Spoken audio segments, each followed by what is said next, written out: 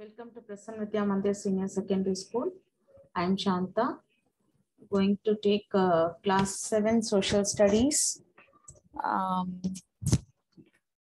here we are going to see the lesson part 2 Mauryan Empire.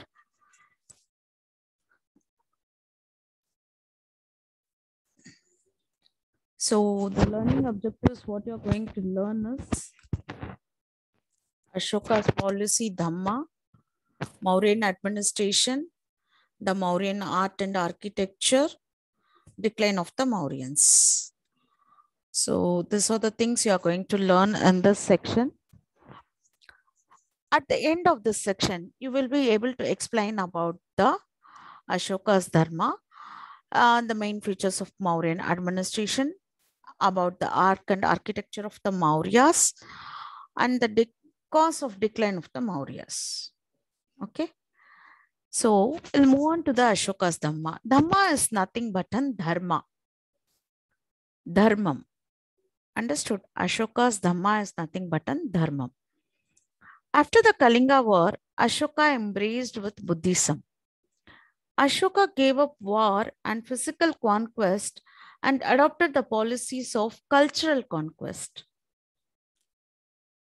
This policy of peace and welfare is known as Dharma. Dharma taught eternal values like respect of, for elders, compassion towards animals, charity to the poor, ahimsa or non-injury to all living beings. So here we can understand what is the peace and harmony spread by Ashoka. So he, he gave up the war and the physical conquest. After the Kalinga war, he became the follower of Buddhism and he gave up the war and the physical conquest. He took up, he adopted the policy called cultural conquest, right? So what is the cultural conquest? Cultural conquest is nothing but spreading a peace and welfare is known as dharma. That is Ashoka's dharma. The policy of peace and welfare is known as Ashoka's dhamma. So in this policy, the values which we can learn in this policy is, he gave in this policy is respect for the elders, compassion towards animals. When the war happens, they use lots of uh, horses, elephants, so many things they used. And there was a weapons also, which is used by the people and it was uh, it has uh, there was a lot of bloodshed with the peoples.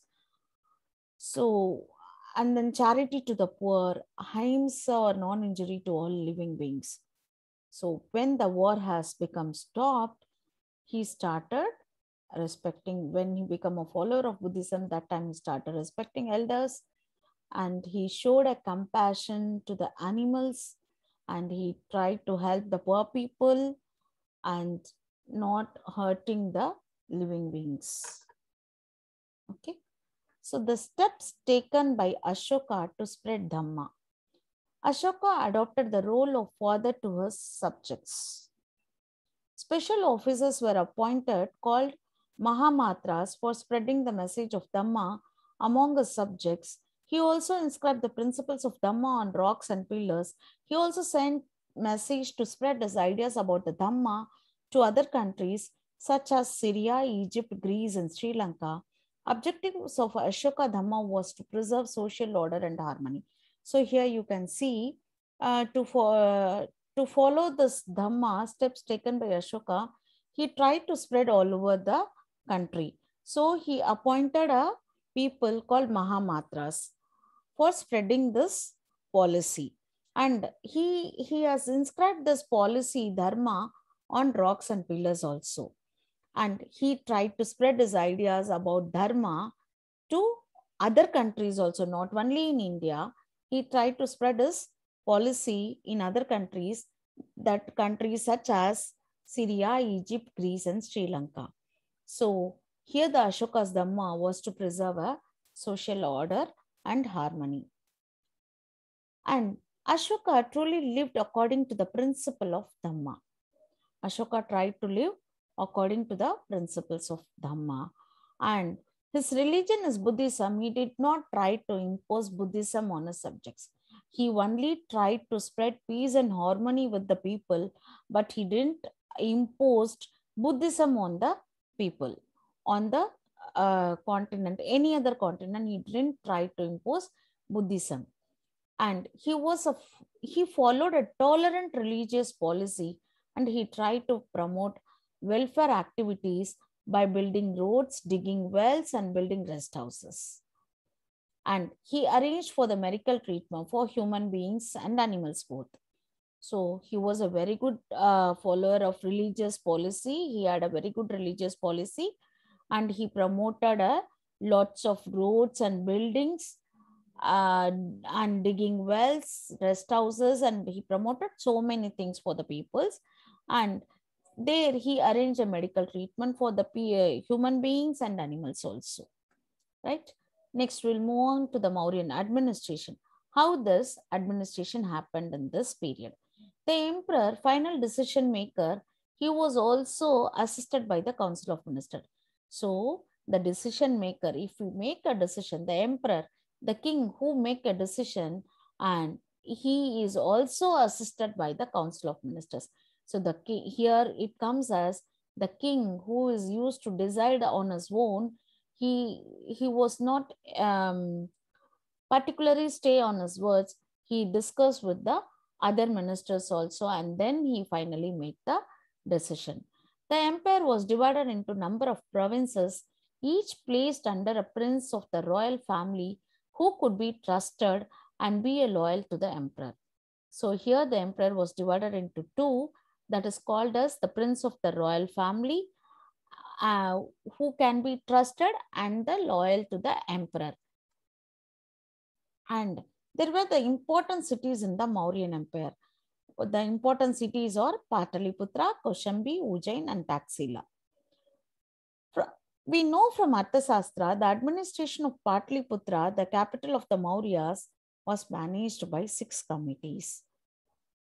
And this committee is looked after the this committee is looked after the sanitation care of foreigners registration of births and deaths regulation of weight and measures etc so there are six committees that is sanitation care of foreigners registration of birth deaths of death regulation of weight and measures etc and here the Mauryan administration was the maintenance of huge army. He, they had a huge army maintenance. They compromised the compromised of infantry and cavalry and elephants. The army compromised comprised of infantry, cavalry, and elephants. In addition to this, it seems that the Mauryan maintained navy also. In addition, here it seems that the Mauryan maintained even the navy. The Mauryan also had an efficient spy system to keep eye upon all the activities.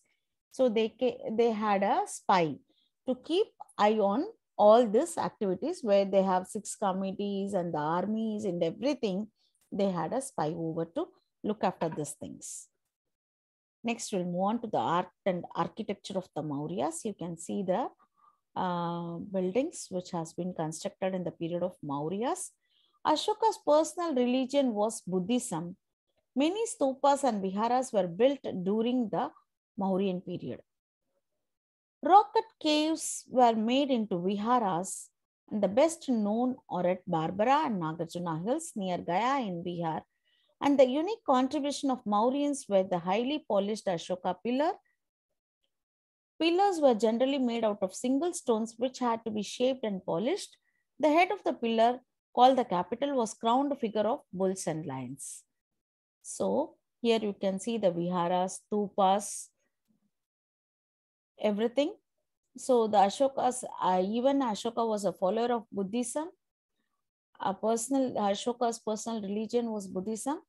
He has constructed a stupas and viharas and there was a rock-cut cave which is called as viharas which were the best is known the viharas were best in the place called nagarjuna hills near gaya in bihar And there was a unique contribution that is Ashoka pillar. It's a known thing which we know very well. It's a very popular one, Ashoka's pillar. And this pillar was made out of single stones. Usually the pillars were made out of single stones and it will be very good shaped and polished. Uh, here, the head of the pillar contains the bulls and lions, the figures of bulls and lions. So finally, we are coming into the decline of the Mauryan Empire. So we have seen the Mauryan Empire started in 326 BC. Um, within 50 years, Ashoka's death in 232 BC, the Mauryan Empire started disintegrated. The Ashoka, the great king, when he died, the Mauryan Empire started disintegrated. So started declining. The successor of Ashoka were not very capable and they could not able to control the vast Mauryan Empire. So Ashoka was able to control a very big Mauryan Empire, the vast empire, but the followers of Ashoka, that is the successors of Ashoka, were not able to control this uh, vast empire.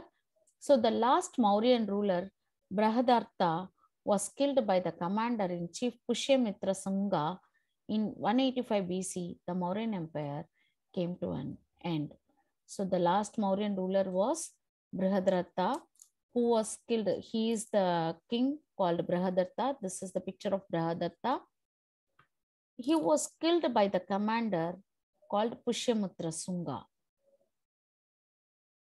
Chief commander, that is, he was called as Pushyamitra Shunga.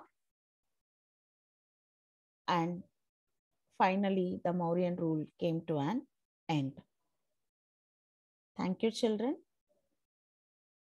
Till then, we'll meet on the next chapter, next video. Till then, bye bye.